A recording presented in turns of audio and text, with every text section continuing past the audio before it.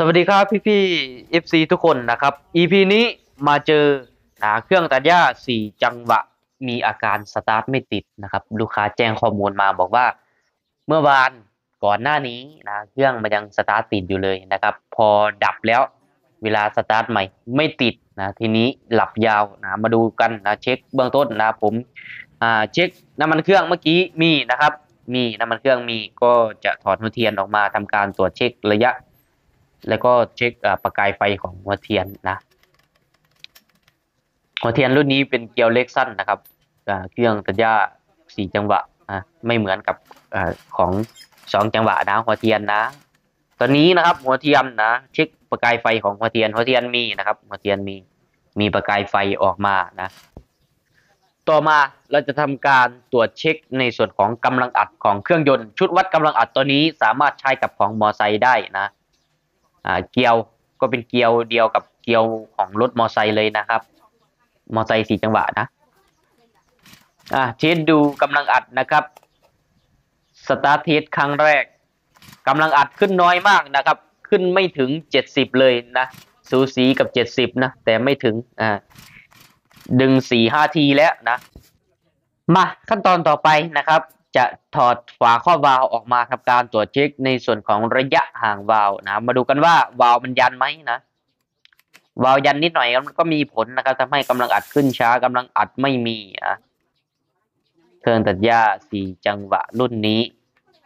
มีวาล์วใช้สายพานนะครับ ค่อยๆดึงนะค่อยๆดึง ดึงหาจังหวะนะไอตัวแคมเฟือง เฟืองสายพานเนี่ยมันจะมีตัวลูกศรนะครับ ลูกศรสามเหลี่ยมอยู่นะ ให้ลูกศรสามเหลี่ยมเนี่ยหันขึ้นบนนะหันขึ้นบน แล้วก็เช็คดูระยะห่างระยะห่างมันได้นะเมื่อกี้เช็คแล้ว ประกอบกลับเข้าไป เป็นท่อนหกเหลี่ยมสองตัวนะขันยึดฝาครอบวาล์วไว้อะประกอบฝาครอบวาล์วเสร็จ เดี๋ยวจะมาทำการตรวจเช็คนะครับ ในส่วนของกำลังอัดอีกทีนะก่อนที่ จะไปในขั้นตอนต่อไป ไอ้ไส้กรองอากาศตันเนี่ยมันก็มีผลนะครับทำให้กำลังอัดไม่ขึ้นนะ จากภาพสกปรกมากอะเทสดูอีกทีนะ เนี่ยเข็มตีขึ้นมานะ แต่ไม่ถึงเจ็ดสิบนะครับ เดี๋ยวจะกระตุ้นนิดนึงนะ กระตุ้นใส่หยอดน้ำมันเครื่องลงไปแล้วก็ค่อยๆดึงนะครับ เอาสักสี่ห้าทีนะ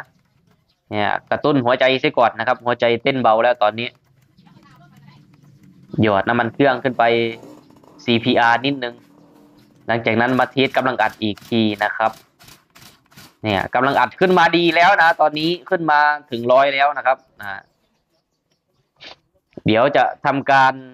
เช็คในส่วนของคาบูนะ มาดูกันว่าคาบูสภาพเป็นยังไงนะถอดออกมาจากการดูสภาพไส้กรองอากาศเมื่อกี้นะ ไส้กรองอากาศสกปรกมากนะครับ ขี้ฝุ่นเต็มเลยนะ ถ้าเป็นคนก็ตันดังนะหายใจบวกแล้วพี่น้องจังคักสกปรกนะครับ ไม่มีการถอดเช็คอ่าเป่าไส้กรองเช่ทีนะ ถอดคาร์บูเรเตอร์ออกมาอ่าก่อนสีเซค่าบูกับล่องกระตุนเบิ้งสะก่อนนะครับ เนี่ยหยอดเข้าไป แล้วก็เทสดึงดูนะ นะฮะลองล่อน้ำมันซิก่อนนะนะมีท่าทีที่จะติดแล้วนะควันออกปึ้งปึ้งปังปังแล้วเมื่อกี้นะครับ ต่อมาเช็คคาร์บูต่อนะเห็นบ่นี่นี่อุ้ยขี้ฝุ่นนะครับนี่มีคราบสกปรกเต็มเลยนะเนี่ยฮะไอ้พวกนี้ไม่ดีนะครับ เกิดจากไอ้ฝุ่นเมื่อกี้แหละฝุ่นอยู่กล่องเมื่อกี้นะครับ มันสกปรกหลายเลีนหลอดเข้าไปนะครับ พอไปโดนน้ำมันก็ เป็นคราบฝุ่นเกาะที่คาร์บูเรเตอร์ เพราะฉะนั้นต้องล้างทำความสะอาดเป่านะคาร์บูลูกนี้นะเดี๋ยวเปลี่ยนผ้าปั๊มด้วยนะครับ มาเช็คทั้งทีนะครับ เอาเอาให้มันชัวร์เอาให้มันจบไปเลยนะครับ เปลี่ยนผ้าปั๊มไปในอ่าไปด้วยเลยนะจะได้ตัดปัญหาออกไปทีละอย่างนะครับ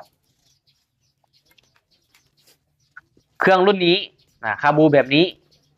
ถอดออกมาแล้วนะ เราต้องเช็คความแข็งของฝ้าปั๊มด้วยนะ ถ้าหากมันมันยังออดอยู่เราก็ไม่ต้องไม่จำเป็นต้องเปลี่ยนนะครับ ถ้าหากมันแข็งนะ มันเริ่มแข็งกรอบๆเสียงเปาะแปะเปาะแปะแล้วเปลี่ยนได้เลยนะ ข้อดีก็ดีหลายอย่างคาบูแบบนี้มันสามารถทำงานได้แบบเครื่องตีลังกาตีลังกาติดก็ได้นะครับ แต่ข้อเสียถ้าหากมันเริ่มมีการลวนแล้ว เริ่มติดยาก เริ่มเดินเบาไม่ดีนะครับ เดินเบาสะดุดเร่งสะดุดเนี่ยแบบนี้เริ่มมีอาการ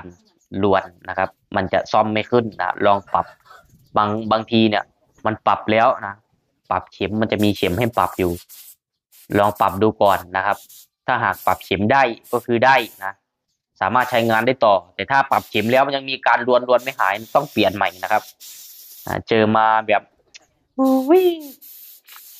ตอนทำแรก ๆ เนี่ย สุดยอดนะครับ ค้นหาและเก็บประสบการณ์เนี่ย เอาจนห่วยเบิดมือเบิดขึ้นนะครับ พอเก็บรวบรวมข้อมูลมาหลาย ๆ ตัวเครื่องหลาย ๆ ตัวเข้ามาซ่อมนะก็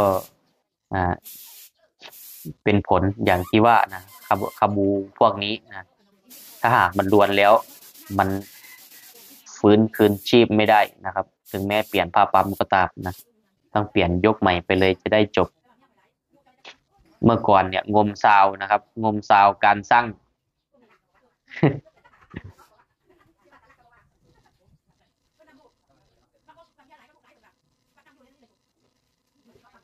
ไอชุดผ้าปั๊มใหม่นะครับ ผมประกอบกลับเข้าไปแล้ว พวกลิ้นนะอันนี้มันเป็นวาลลิ้นของมัน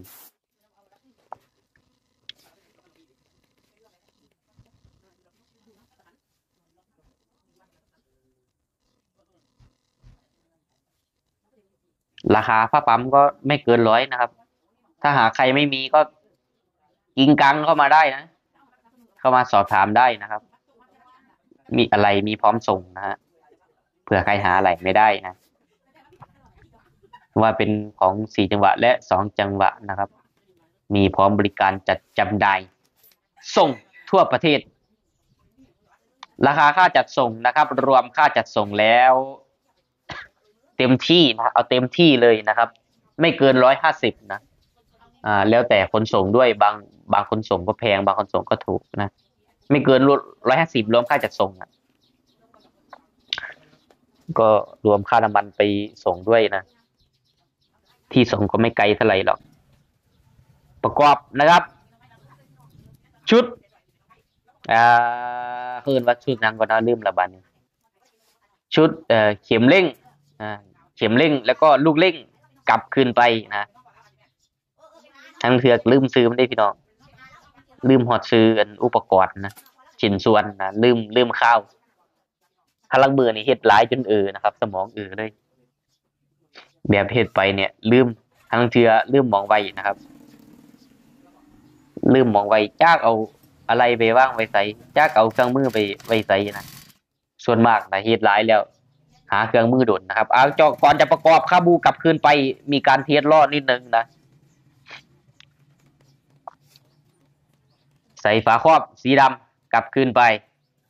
มาเบิ้งบาดนี่เอามันสิตีนบอเจ้าว่านะเปลี่ยนฝาปั๊ม ล่างค่าบูแล้วนะมันสิตีนบอมันสิเป็นตะไปวัดไปว่าพอได้บอกเป็นน็อตเบอร์แปดนะครับสองตัวยึดอ่าตัวคาบู ขันให้พอตึงมือมา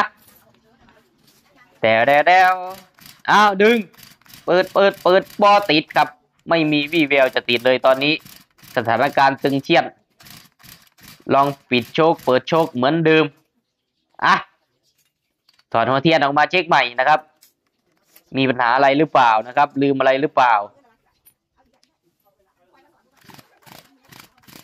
อ่า เช็คเอามืออุดดีดูอีกทีนะกำลังอัดก็ปืดปาดปืดปาดอยู่นะ อยากให้แน่ใจเพิ่มเติมนะ เพื่อความมั่นใจอะเทสดูอีกทีเอาตัววัดกำลังอัดขึ้นไปอะดึงจืดจืดจืดจืดจืดกำลังอัดขึ้นมาถึงร้อยอยู่นะ ตัดเรื่องของกำลังอัดออกไปได้เลยนะครับ ต่อไปเรามาเช็คในส่วนของประกายไฟหัวเทียนอ่าเจอปัญหานะครับ เหลือบส่องดูนะส่องดูแล้วส่องดูอีกนะครับ หัวเทียนระยะห่างไม่ได้ตกน้ำตายอีกแล้วนะครับ ตัวนี้ตอนที่ถอดออกมาเช็คครั้งแรกนะครับ เห็นอ่าเห็นหัวเทียนอ่าเห็นประกายไฟที่หัวเทียนอยู่นะแต่ไม่ได้สังเกตในเรื่องของระยะห่างนะครับ มามาตั้งระยะห่างของหัวเทียนนะครับ ระยะห่างผมตั้งที่ 0.60 มิลนะครับ ใช้ feeler gauge วัดนะเช็คประกายไฟนะครับ แรงขึ้นกว่าเดิมเลยทีนี้นะเปืดปาดเปืดปาดขึ้นกว่าเดิมเลย ระยะห่างเมื่อกี้นะมันแคบเกินไปนะครับมาระยะห่างมันชิดเกินไป ปรับตั้งใหม่เรียบร้อยนะครับ มา test ดูเอาบาดนี้มันสิติดบ่นะปืดปืดปืดปืดเออ อาเอามาแล้วเว้ยเฮ้ยเฮ้ยเฮ้ยติดแล้ว ติดแล้วครับพี่น้องเรียบร้อยนะครับ รุ่นนี้ติดเรียบร้อยเร่งได้นะครับเร่งได้แล้วก็เดินเบาได้นะ สรุปอาการนะครับที่ทำให้เครื่องไม่ติดนะสาเหตุที่หนึ่งคาร์บูเรเตอร์นะครับสกปรกนะสกปรกมีค่าขี้ดินเยอะนะเต็มเลยฝุ่นไส้กรองเบาๆจักเชือนะครับทำให้อาอ่า ขี้ฝุ่นเนี่ยเล็ดลอดเข้าไปตรงคาบูนะครับ อาการที่สองนะครับ อาการที่สองพบปัญหานะครับตายน้ำตื้นก็คือระยะห่างเที่ยวหัวเทียนมันน้อยเกินนะครับ มันชิดเกิน ถึงแม้มันจะมีประกายไฟนะแต่มันไม่ติดนะครับ มันไม่ติดนะก็เลยปรับตั้งใหม่ทีนี้ติดเรียบร้อยนะครับ เครื่องเดินเบาได้เร่งได้ปกติแล้ว ก็ต้องเทสดูนะ ติดแล้วติดอีกนะครับเนี่ยดึงเทสดึงแล้วดึงอีกนะครับ เพื่อเช็คความชัวร์ก่อนส่งงานนะ บางทีนะผมเจอปัญหาแบบว่า พอเราเทสทุกอย่างแล้วปกติ พอเราจะส่งงานเสือกมีปัญหาอีกแบบนี้นะ ทีนี้ก็เลยเช็คหลายครั้งหน่อยนะก่อนที่จะส่งงาน เอไม่ใช่เป่าไส้กรองเนี่ยเห็นไหมขี้ฝุ่นยังกับขนมา ได้หนึ่งซาเล้งเลยนะครับหนึ่งพ่วงข้างเลย โคตรเยอะนะครับขี้ฝุ่นไม่เป่าเสียทีนะไออันนี้มันก็ควรถอดออกมาเป่าเลยเด้อพี่น้องนะครับ ใครที่ใช้เครื่องตัดหญ้าอยู่ทุกรุ่นนั่นแหละบ่ว่าจะเป็นสี่จังหวะหรือสองจังหวะนะครับ ควรถอดไส้กรองออกมาเป่าบ้าง บางทีมันตันที่ฝุ่นมันเยอะมันหายใจไม่ออกนะครับ ประกอบน็อตหกเหลี่ยมนะครับ กลับคืนไปมีสองตัวนะ ที่ยึดกับไอตัวแผ่นสีดำเนี่ย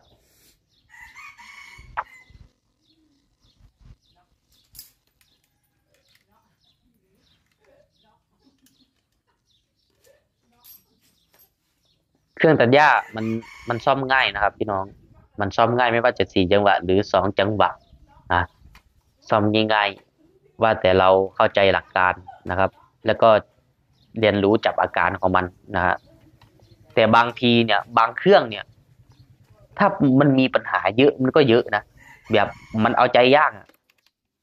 กว่าจะเสร็จแต่ละที แบบ